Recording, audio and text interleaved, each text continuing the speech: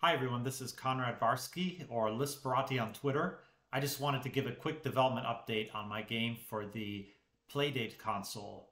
So this right here is a Playdate. Um, it's known for having a uh, little crank on the side and I'll show you my uh, a demo of my game here, uh, my game engine. So you have a very uh, complex player character that can take different shapes and you can use the crank to move the player character around in different directions. Um, and uh, you have you have a variety of locomotion options.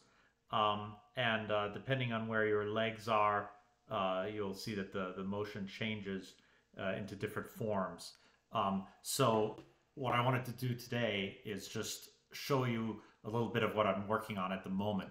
So since you your body plan can change because you can turn the crank to move your legs uh, either on top of your body or below your body or over to the side, it means that there is really no sense of up or down in the game. And it makes sense to make the legs sticky so that you can climb up walls. And I'll show you a little bit of the challenges I'm dealing with with that. Uh, I should mention this is a game written in Zig. Uh, so there's not a lot of Zig games at the moment, but uh, Zig is a great choice for the playdate because um, it has a very good low level performance. Um, so let me just show you my uh, game engine here right now. Uh, here is a simplified version of my player character just with two legs and a round body. And you can see I can uh, walk around uh, with my uh, cursor keys or I can uh, rotate using the crank. Now, um, as I said, you can now go up to a wall and you can walk up that wall. So the legs will make contact and I can go up the wall. And I'm going to talk a little bit about some of the issues with this. Now, um, one uh, element that's going to be very important in the game is that you will be able to uh, move into tight crevices. And because uh, there will be power-ups that will change the configuration and size of your player character over time, I want to make sure that the engine is very sophisticated in terms of being able to detect if you fit into a narrow crevice. So the way the game handles locomotion is that when you uh, uh, are uh, attached with your feet to some sort of polygon in the game engine, it uh, basically breaks the uh, motion or the position of the player character to two steps. One is that the body makes contact to the uh, wall or ground that you're on. And then a second step is that the body gets lifted by your legs. And depending on how narrow a crevice is that you're in, will control uh, how high your body will be able to lift up. So that way, if you get to a narrow crevice, the game engine will automatically um, crouch your character to fit into a tight space. Um, so uh, I'm going to just disable the uh, lifting of the legs for a second so we can see what happens um, with the legs with the body in a completely crouched position. So uh, because it makes it easier to understand uh, some of the other uh, locomotion aspects of the game. So right now, the player character is uh, fully crouched. So you can see if I walk now, it looks a little bit goofy. Um, so now um, you can see I'm going up the wall and I can keep going up this wall. Now, of course, the problem is, is that my lower leg is now going to start uh, no longer having contact with the floor. So what happens at that point is that I basically get stuck because um, uh, you need two points of contact in order to be able to climb a wall. So in this case, what I need to do is I need to rotate my body so that uh, both legs can make contact with the wall at the same time. This means every time I come up against a crevice, I have to re-rotate my body with the crank in order to um, continue climbing.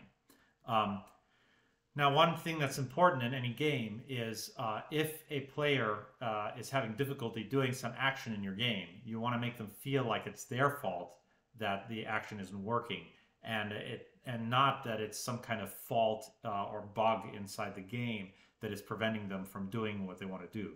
If they think it's a bug, then uh, that's just frustrating. Um, so, uh, and I kind of feel this like this uh, locomotion is kind of a bug because uh, it's just very awkward to have to constantly rotate your body every time you want to go around a corner.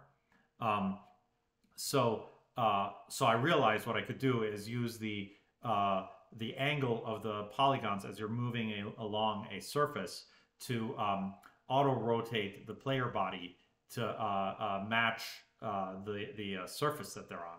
So I'm going to now enable the code that does that. Um, and let me put the I'll put the the leg lifting logic in there again, so it looks a little more natural. so now um, here is the new code I just wrote today. Um, now if I start climbing up the wall, notice I'm now, my legs are now uh, both uh, equally uh, facing the ground. And if I, if I head towards this wall, you can see now uh, the feet are facing at an angle towards the slanted wall. And I can keep going up. And if I go up to the ceiling, uh, without me having to do any rotation, just using the, uh, the touchpad on the console, I could get all the way to a uh, an upside down position on the ceiling. And I can keep going here. And this actually gets tricky because if you get to a corner like this, uh, there are situations where you can fall down.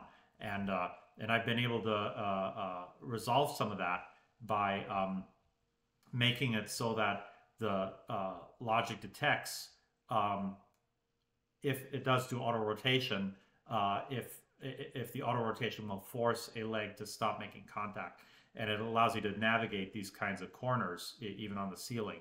Uh, now there are certain corners that are so steep that you can't navigate around them. So this corner is too steep, and with my algorithm right now, there's there's simply no way I can get around that corner. If I try before I make contact, um, it will uh, basically um, cause me to to fall to the ground. Um, and you are able to uh, to jump and uh, onto an onto a wall um, if you have one leg up in the air like this and make contact. But you always have to have two. Uh, you have to have two legs up. Uh, you always have to have two points of contact if you want to be able to um, climb a wall. So let me see if I can just connect with one. There we go. So now I'm connected with just one foot. But if, if the moment, if I only have one foot on here, the moment I uh, try to move, uh, I will lose contact. And that makes sense because you would expect in order to be able to walk on the ceiling, you would always need to have two points of contact. Um, so anyway, so that's currently what I'm working on with my game engine.